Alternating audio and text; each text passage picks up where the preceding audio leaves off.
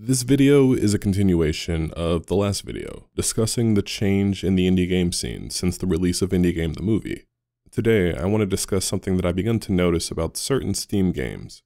And honestly, I hope it does not become more of a normalized thing when it comes to games that are created to take advantage of the algorithm and available metrics. For those who are out of the loop, what do I mean by this?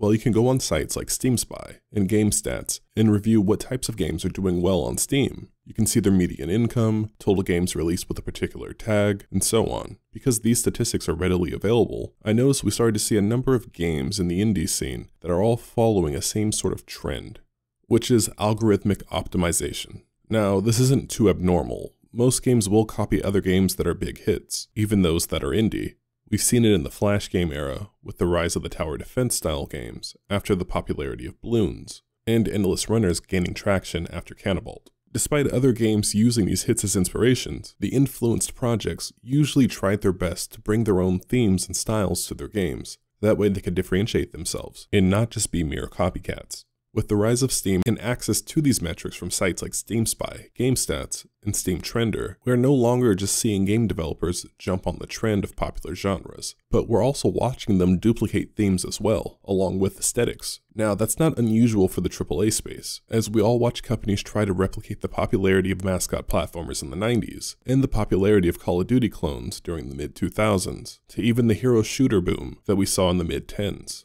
Though originally as indies, we were supposed to reject that side of the industry and remove the corporate mindset, along with the focus groups, making games by committee, and instead leading with fun and artistry first. It's just a little disheartening to see. Just go on Steam and see how many games have dwarf in the name or in the theming just because the algorithm says it performs well, or how many roguelike deck builders we've seen since the release of Balatro. Now, it's definitely not me saying all indie games are being made this way, or even the majority. It's just something I've seen growing for the last couple of years. After the popularity boom of the Souls-like genre, you begin to see a number of games try to replicate the game in various ways, from the dark aesthetic, atmospheric and environmental storytelling, all the way down to just throwing the name Souls into their game, even if the game wasn't a Souls-like. There's nothing wrong with wearing your inspiration on your sleeves. I'm definitely doing that with hand cannon, but I did things to distance myself from Capcom's Blue Bomber a totally different story. The weapons don't work the same way outside of the charge cannon, and even then that's not 100%. Recoil mechanics, making it a flip screen instead of a traditional side scroller, the black and white aesthetic, and even the Metroidvania New Game Plus were all at least in part added to not be just another Mega Man clone.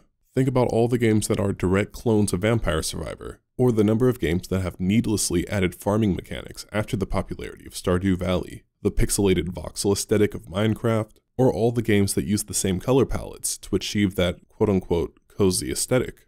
There's nothing wrong with being inspired, but it's another thing to be a direct copy. Even when AAA games follow trends, they usually try to add their own twist to the games. Mortal Kombat and Street Fighter are both fighters, but play completely different. The classic God of War games, Devil May Cry, and Ninja Gaiden are all hack and slashes, but don't even really feel like the same genres, since they all focus on different mechanics in different ways. I believe this rise of replicating in the indie scene is a multi-factor situation. First, it's easy to use tools, as those have lowered the bar to entry. The lower bar means people can now put in less effort to make something, and less time learning. If tools were still complicated or expensive, people would likely only invest their time if they believed their idea was truly unique, innovative, and likely to succeed. Since you may only need to spend a few weeks or months of time to make a simple clone, and since a lot of tools are now free, and no code solutions no longer force aspiring solo devs to spend years of mastering their craft before creating anything that's passable. Oh, and I almost forgot, throw in the opportunity to make money, and well, you have Attack of the Clones. Though the chance of making any real money from a clone of a very recent hit is rare. There's no solution to this problem. This is all really just an observation, and I'm sure some of you can see it as well. I think the best thing that can happen is to allow these clone games that don't add anything to sink to the bottom, so that way they're seen as a waste of time by developers. And then those developers can either learn to either iterate and innovate over those ideas, or create entirely new ones. Creativity, at least good creativity, is a learned skill. The skill grows as you create more and more, and learn how to properly implement your ideas. In spite of my concerns, I still have a lot of hope for the indie scene. I keep seeing new and innovative games, breakout hits, and hidden gems. We've even resurrected genres and aesthetics that were once banished from the AAA space. And now those same major publishers that once refused to make those games are now trying to replicate the resurrected indie styles. Anyways, that's it for today, everyone. Thanks for watching, and thanks for your time.